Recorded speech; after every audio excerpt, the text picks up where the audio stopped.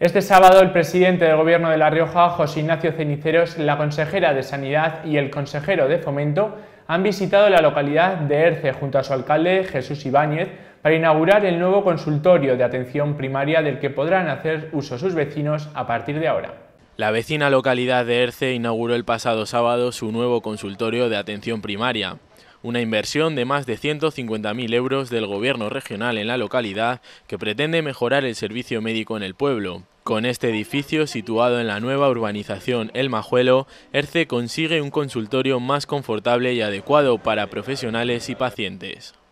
Inaugurar este nuevo edificio que de alguna forma suple al que teníamos anteriormente, que con esto lo que hacemos es ganar en servicio y calidad, profesionales que son profesionales, que son los médicos,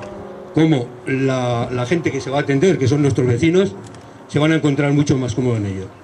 El edificio cuenta con una superficie construida de casi 140 metros cuadrados y dispone de una consulta médica, una enfermería y una sala de espera, enmarcadas en un entorno adaptado donde interior y exterior se han diseñado para que encajen con el paisaje de una manera eficiente, tal y como ha explicado la arquitecta que ha diseñado el proyecto durante la visita.